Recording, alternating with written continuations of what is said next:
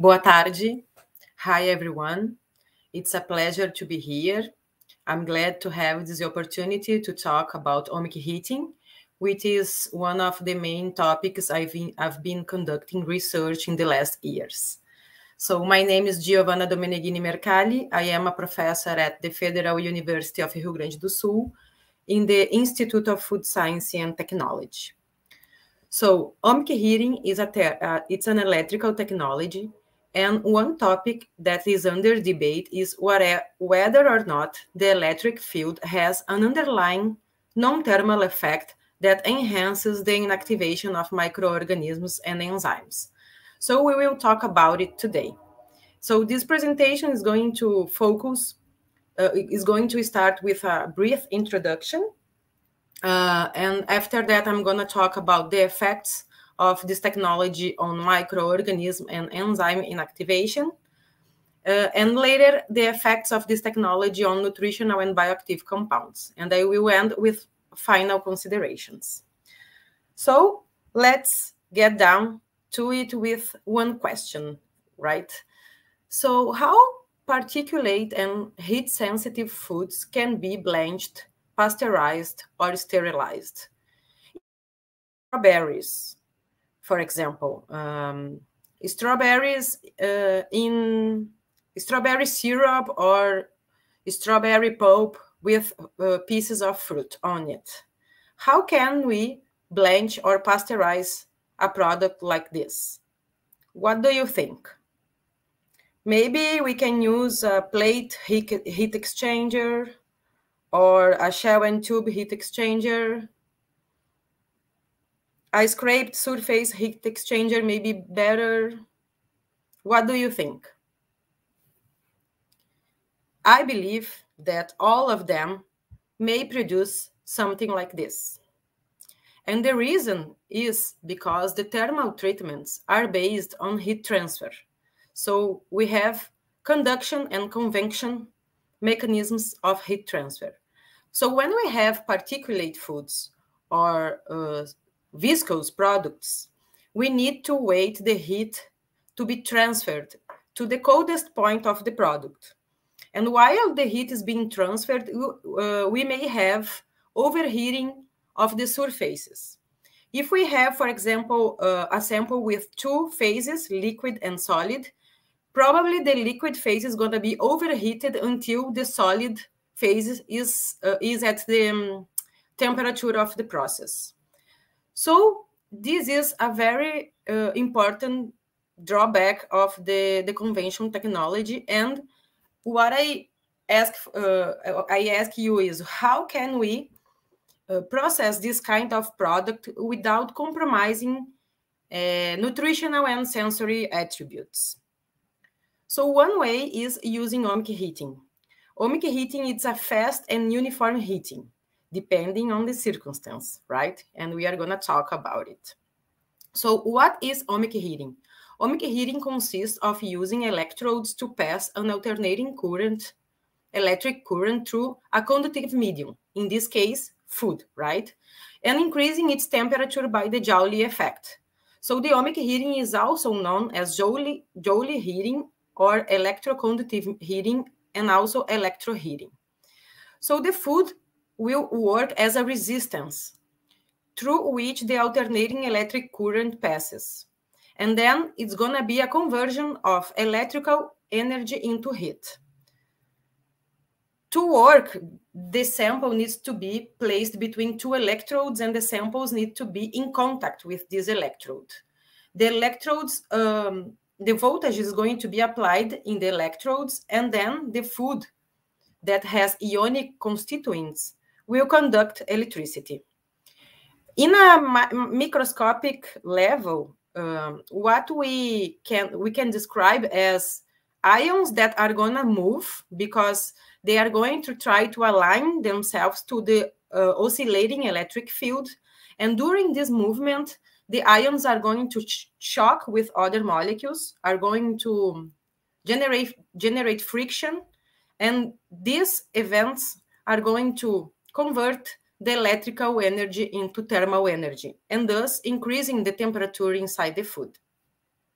So here uh, I bring a, a, picture of the equipment that we have in our laboratory.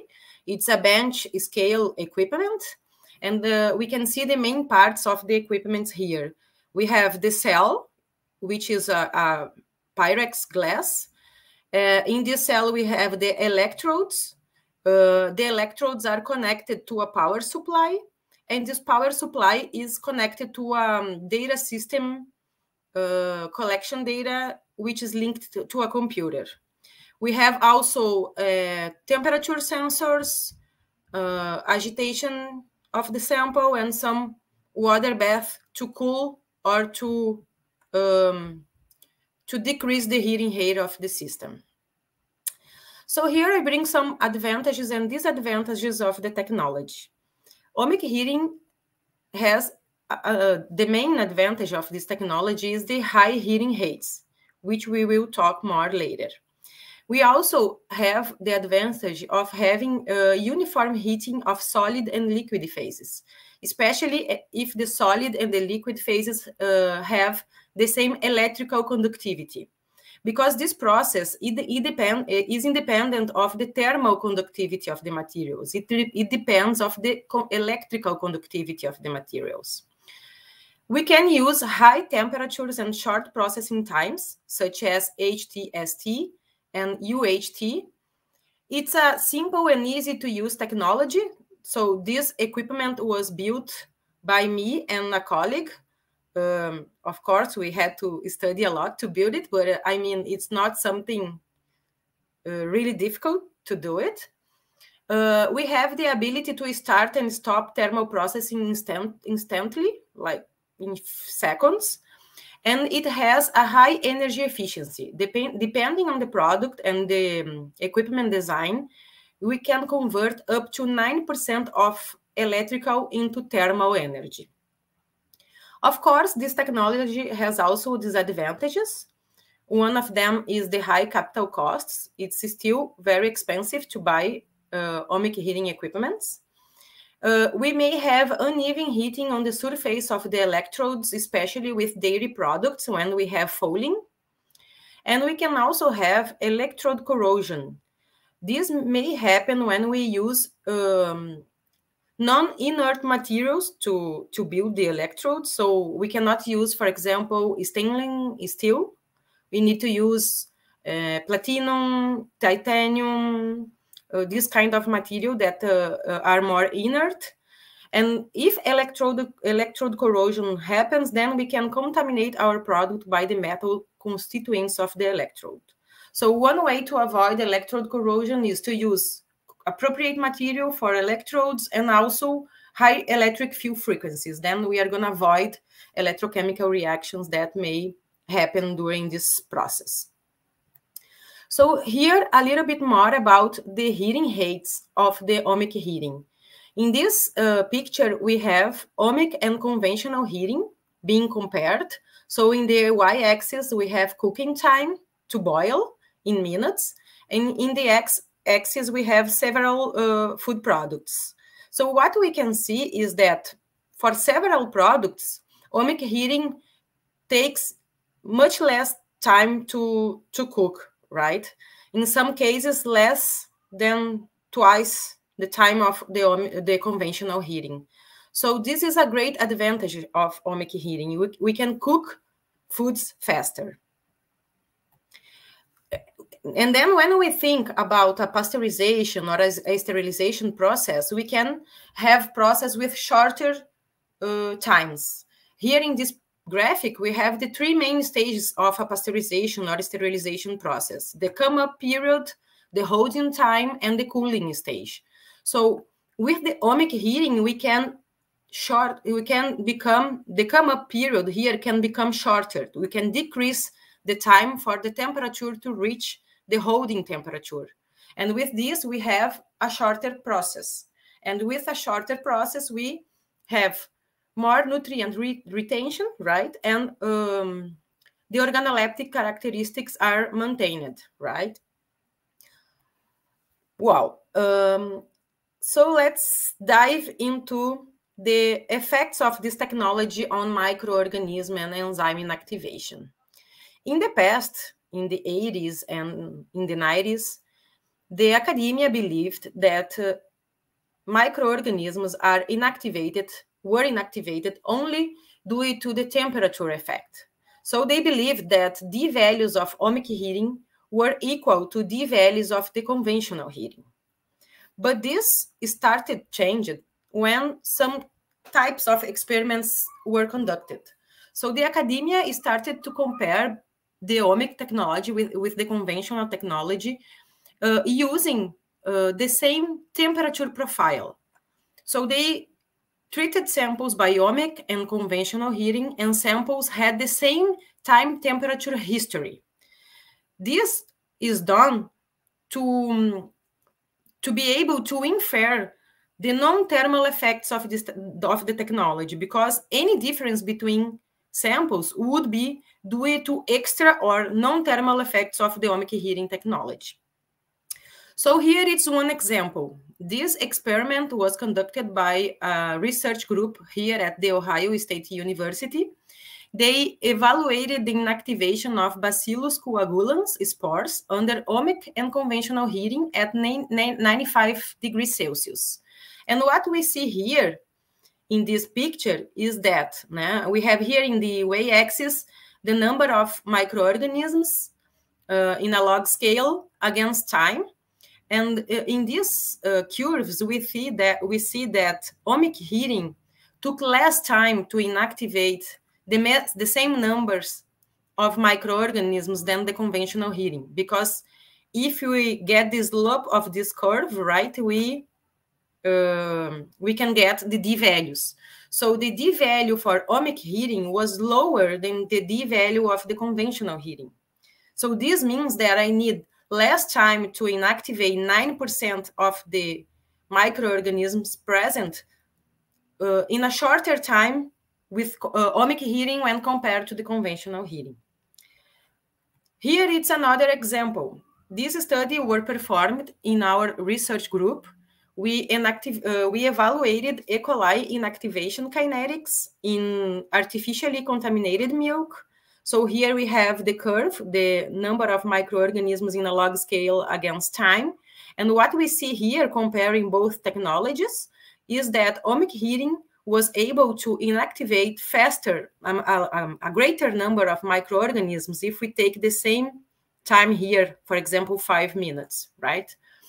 So with time and with a lot of experiments being performed, there was we end up with a conclusion that uh, ohmic heating has a thermal effect that it's the main effect for a microorganism inactivation but there are some extra non-thermal effects that enhance microorganism inactivation these non-thermal effects are electroporation cell permeabilization and vibration of polar molecules i will talk a little bit more about electroporation which is the main non-thermal effect.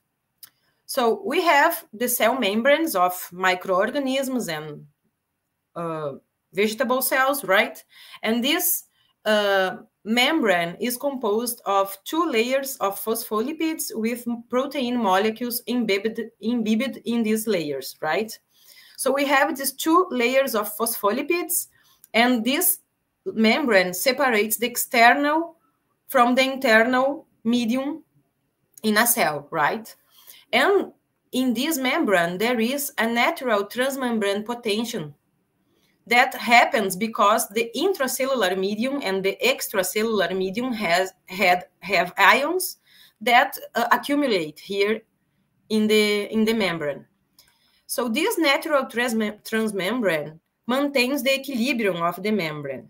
But when we apply an electric field, this um, this transmembrane potential it's high.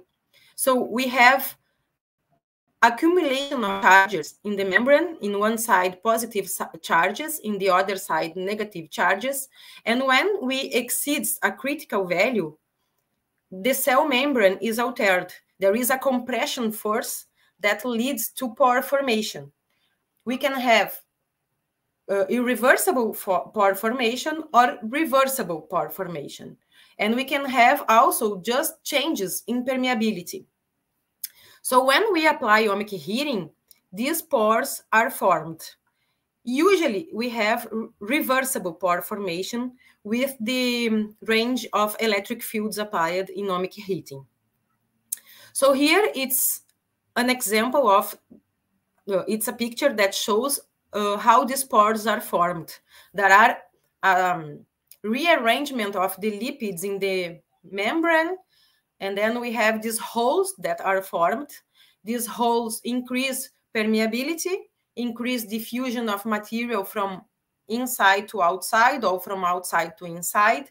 And we can also have cell lysis with leakage of intracellular material to the external medium.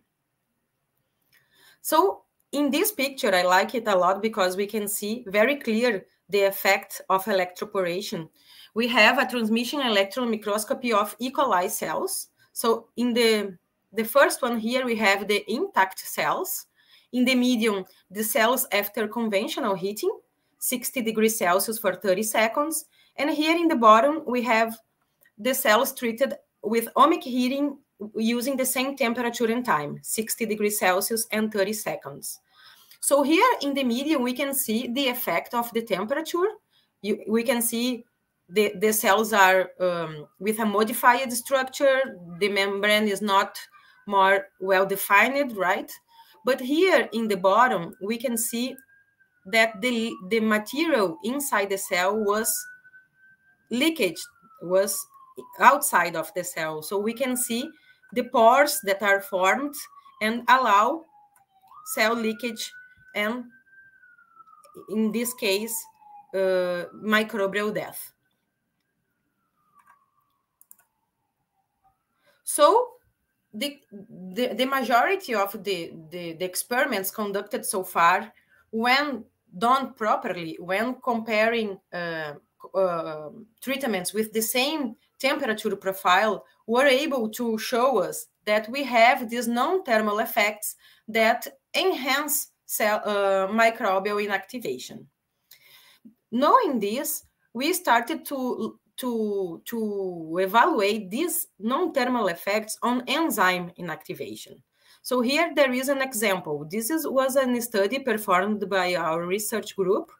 We evaluated the POD residual activity of pumpkin in pumpkin during conventional and ohmic blanching so here in this picture, we have in the y-axis the residual activity against time. The, the empty symbols are the conventional treatment and the filled symbols are the ohmic treatment. So for a 90, percent reduction of the initial activity of the POD, it was required 1.5 minutes with ohmic blanching, while, it, while we needed 2.5 minutes to achieve the same degree of inactivation with the conventional heating. So here we can see very easily that there are something different occurring in ohmic heating that allows a faster inactivation. Here it's another example. This study was also conducted by, by, our, by, our research group. We evaluated POD residual activity over time in sugarcane juice during, during ohmic and conventional heating. So here we have several temperatures, 60, 70, 75, and 80 degrees Celsius. And what we see here, when we use the lowest temperature, 60 degrees, 60 degrees Celsius, we, can, we saw an activation of the enzyme of the enzyme. So here we can see this activation behavior. And in the highest temperature, 80 degrees Celsius, we could see an inactivation effect, an extra inactivation, especially here in the fourth, uh, first minutes of the heating. So here we also see that something is different when we apply ohmic heating. So after several experiments in the literature, we now understand that the oscillating electric field induces molecular motion and frictional energy dissipation. So these phenomena interfere in the tertiary and the quaternary structure of the enzymes and causes disruption or rearrangements of non-covalent bonds, hydrophobic interactions, and ionic bonds. And this disruption and rearrangements of bonds will um, enhance the inactivation rates of the enzymes. So does the presence of the electric field affect the degradation of biocompounds in foods? We tried to answer this question. We performed several experiments to evaluate if electrochemical reactions and molecule polarization, these two phenomena, may influence the way the molecules react when uh, heated by ohmic heating. To do that, we conducted experiments with the same temperature profile, right? Conventional and ohmic heating, comparing both technologies, and we evaluated differences in degradation rates. So we were interested in evaluating electrochemical reactions, such as electrode corrosion, because as I, I as, as I told you at the beginning, right, um, if we don't use inert materials and depending on the conditions of the processing parameters, we may have electrode corrosion and the metals of the electrode can be released in the medium, catalyzing the degradation of bioactive compounds. We also can have water, electro water electrolysis, and uh, this will produce free radicals that also may compromise bioactive compounds. The polarization phenomena um, may, is another phenomenon that is involved when we have polar molecules such as water. Uh, the dipoles and the, the polar molecules, they rotate, trying to align themselves to the electric field in a phenomenon known as orientation polarization. And even the non-polar molecules may have charges being shifted away or close to the nucleus, depending on, on the, the, the alternating electric current. So the idea was to evaluate if this phenomena could influence bioactive compounds degradation. So as I told you, uh, we performed experiments with similar temperature profiles ohmic and conventional heating for several kinds of bioactive compounds. Here we have the results for anthocyanins. We evaluated the kinetic degradations. So here in, in, I, in the y-axis, we have the degradation kinetics against time, right, for two temperatures in this picture.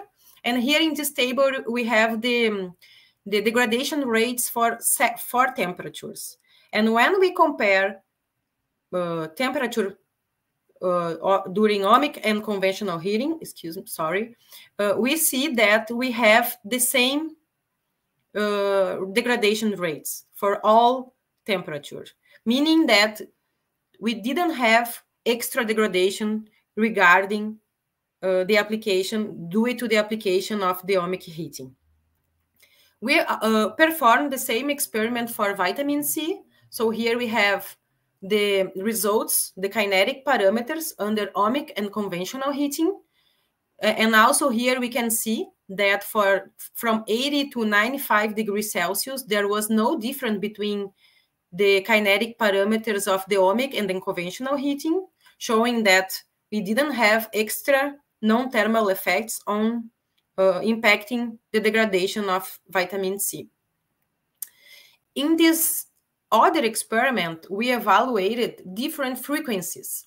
So we uh, performed experiments varying the frequency from 10 to 100,000 hertz and compare these, these uh, experiments with the convention, conventional heating. And here we saw something different. As we can see here, the frequency of 10 hertz, the lowest frequency we used, promoted a greater degradation of vitamin C. And we uh, believe that this highest, high, this higher degradation is um, due to the electrochemical reactions because these electrochemical reactions, electrode corrosion and water electrolysis, they are intensified when we use low frequencies. So here we concluded that low frequencies favor electrochemical reactions and uh, increased vitamin C degradation. We performed experiments to evaluate carotenoids. Uh, in this table, we can see carotenoid degradation under ohmic and conventional heating. And again, the heating method did not influence the degradation. We had no degradation during conventional heating and a very low degradation during ohmic heating, no statistical differences. Um, so carotenoids were not in, impacted by the ohmic technology. And here I, I, I brought uh, the last study we have performed with phenolic compounds. So we evaluated the phenolic compound stability uh, in sugarcane juice during ohmic and conventional heating. We have here in the in your uh, left, your left, right, the chromatogram that we obtained. We could identify most of these compounds and here in the right, there is um, a picture showing these phenolic compounds divided by classes, dilignols, phenolic acids, and flavones. And what we see here is that ohmic and conventional heating showed the same pattern. They both um, promoted the same um, kind of stability in this compound. So we have the same stability under ohmic and conventional heating. And again, we concluded that ohmic heating, uh, the effects, the non-thermal effects of ohmic heating uh, did not uh, compromise uh, their stability.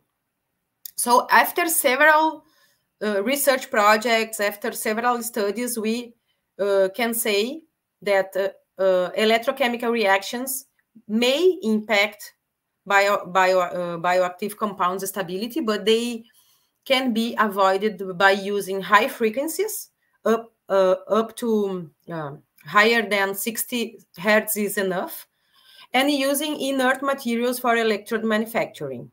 And the polarization phenomenon does not affect the deg degradation kinetics. So uh, after this whole of experiments like a lot of people a lot of scientists working to identify these non-thermal effects, uh, we have a new definition. We have the MIF processing. MIF means moderate electric field, campo elétrico moderado in Portuguese. So when we want to use the ohmic heating technology, uh, focusing on the non-thermal effects of the electricity on and or in, in the combined effects of both uh, the combined effects of electrical and thermal, we call this um, technology MIF. Okay, so MIF involves the application of electric fields below 1000 volts per centimeter with or without heating to accomplish specific object objectives. So when we are more interested in the thermal effects of the technology, we call ohmic heating, such as in pasteurization, sterilization, and thawing when we need the thermal effect and the thermal effect is more important. When we are more interested in the non-thermal effects, then we call moderate electric field, such as in extraction, fermentation, enzyme activity, or drying. So now I'm gonna show you some studies that we performed to evaluate the application of moderated electric field to different um, uh, for specific objectives. So, for example, in this study, we um, evaluated carotenoid and lipid extraction from Heterochlorella luteoviridis using MIF and ethanol. So here we have a picture, a contour line of the results. We can see information and voltage applied we um, we was we were able to to get extracts uh, with 73% of carotenoid extraction using this combination of uh, 180 volts and 70% of ethanol solution. and it's important to point out here that only the presence of ethanol in the highest concentration was not sufficient for carotenoid extraction. So in this case, we probably have an effect, a combined effect of both variables that modified the chloroplast's membrane structure, allowing carotenoids to be extracted. And this effect is due to the electroporation, the non-thermal effects of the electricity.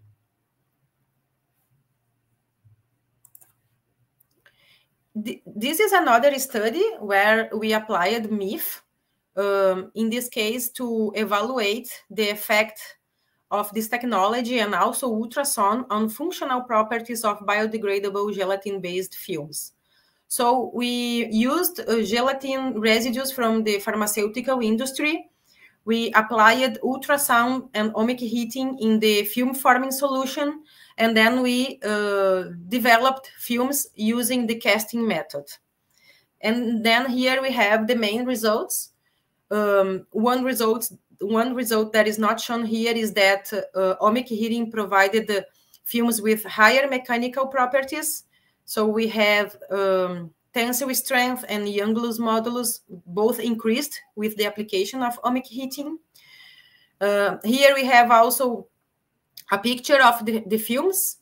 Uh, ultrasound and MIF promoted a more ordered structure, higher crystallinity index, and higher thermal stability. And uh, we could see also that uh, ultrasound decreased opacity, resulting in more transparent films. And here we have um, the microscopies of the, the films, and uh, we can see again the effect of the ultrasound that produced a more homogeneous and smoother surface with a reduction in the size and, number of dots. So in this case, both technologies changed the properties of the film, but the ultrasound uh, showed um, showed more promising results to be applied uh, for this application. And in this uh, other study, the last one that I would like to show, we evaluated the influence of MIF, the moderate electric field, on osmotic dehydration of apples. So we um, conducted experiments with uh, cubes of apples, and you, we modeled water loss and solid gain, and calculated the um, um, mass diffusivities, right, uh, of uh, the water and the solid. And what we could see here is uh, a, a, picture that shows the water loss and the solid gain for all experiments. So we have experiments being performed conventionally without MIF and some with the presence of the electric field. So overall, the results indicated that the application of MIF favors the loss of water.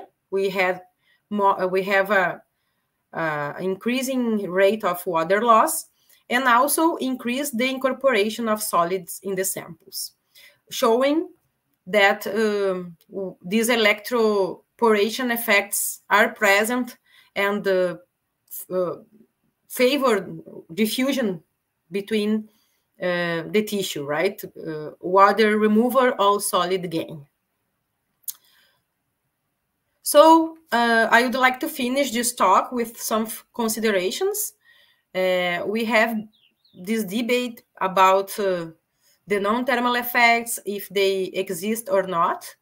So several several works have been reported results and conclusions regarding the non-thermal effects, but we have to take care because many studies they are conducted without uh, matching the, temp the temperature profile of the two treatments. And then we don't know if these uh, effects are due to the non-thermal effects or due to a different temperature profile between samples. Moreover, um, some uh, studies, they don't uh, show a detailed methodology description or they, they have inappropriate monitoring and control of processing parameters. So we don't have, we are not sure if they are actually measuring the non-thermal effects. So the use of well-controlled systems and an accurate assessment of experimental data are essential to get reliable conclusions on the existence and the extent of these non-thermal effects.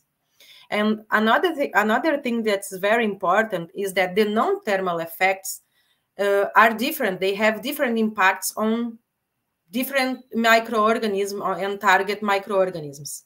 So these non these non-thermal effects may be more um, pronounced in, veg in vegetative cells than in spores.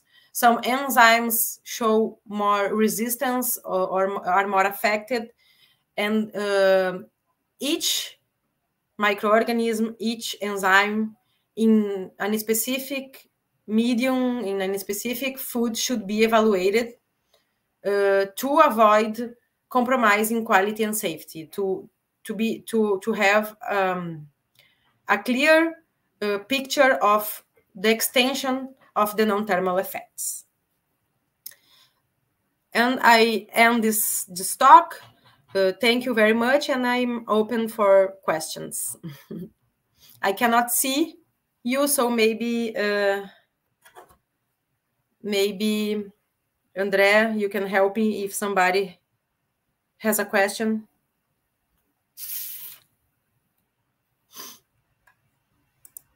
I will go back to my. Maybe I, I stop sharing.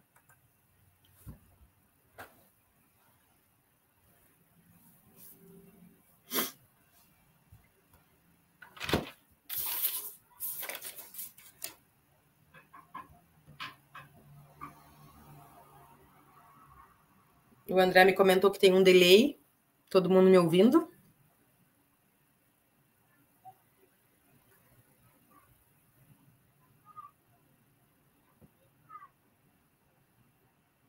Ok. Estou recebendo as mensagens do André aqui.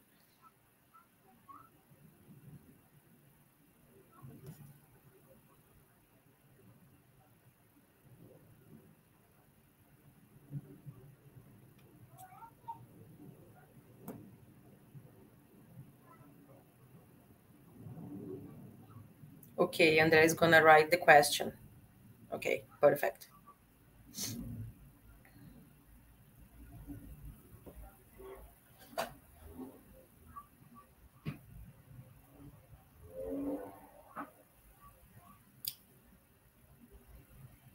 Mm-hmm.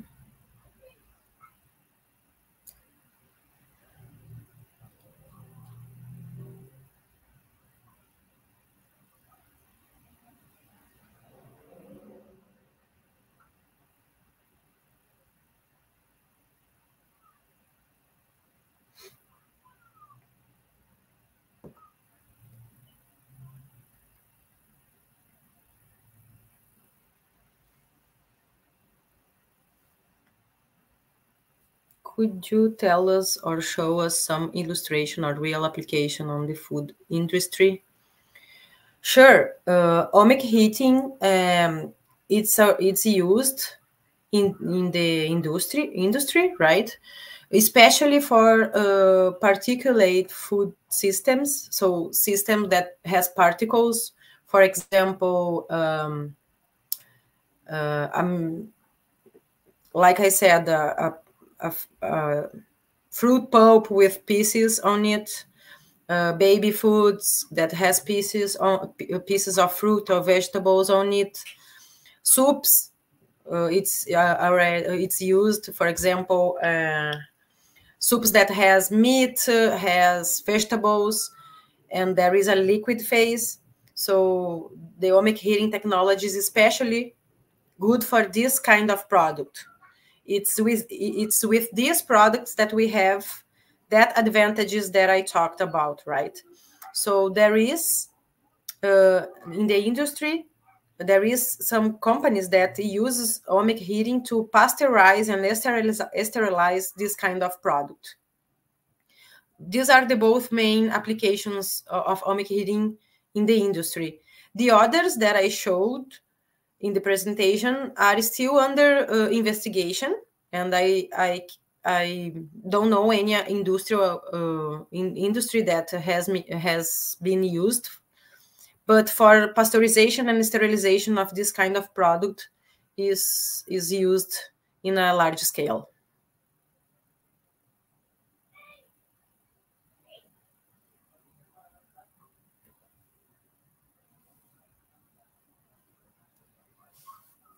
Are there experimental evidences that electric fields affect the way that the secondary structure of enzymes arrange? Um, not yet, Wagner. uh, what I know it's about the effect of the ter tertiary and the quaternary structure, um, the effect of um, changing the three-dimensional rearrangement but not uh, really uh, in in the secondary structure.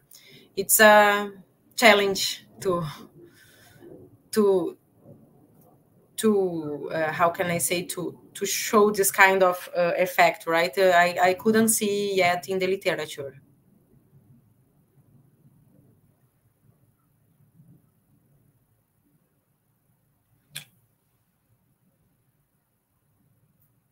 More questions?